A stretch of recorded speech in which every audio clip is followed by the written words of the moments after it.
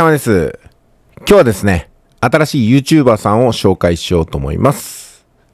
今、最近ね、朝のライブ放送で FX を話題にしてるんですけども、折しも本日新しく FX の専門用語チャンネルが公開されました。こちらですね。こちらでですね、一つ一つの動画がそのまんま FX の基礎的な用語、この解説になってるんですよ。ですんで、本とかね、ネットの記事で FX の用語がなかなか身につかない方は、こちらのチャンネルを登録していただいて、日々更新される動画を聞いていただくことによって、頭に残っていくんじゃないかなと思います。やっぱりね、教科書で勉強難しいなと思える方っているんですよ。つまり、自習のできる方ってのは一部なんですよね。で、多くの方は家庭教師とか塾に通うことによってやっと身につくんですよ。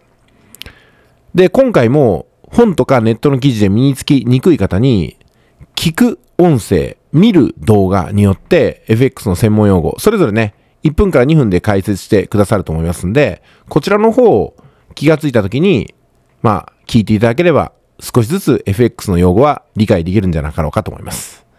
はい。現在ですね、こちら2時間前にアップロードされて、チャンネル登録がまだ5人ということですけどもね、始まったばかりのこの YouTube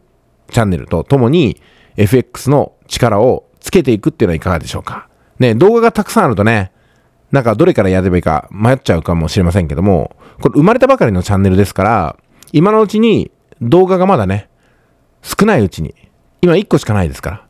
だから今日登録すると、今日これ聞くことができて、明日また新しい動画がね、公開されたら、そしたらそれについていけばいいと思います。で、いつの間にか30個、50個、60個と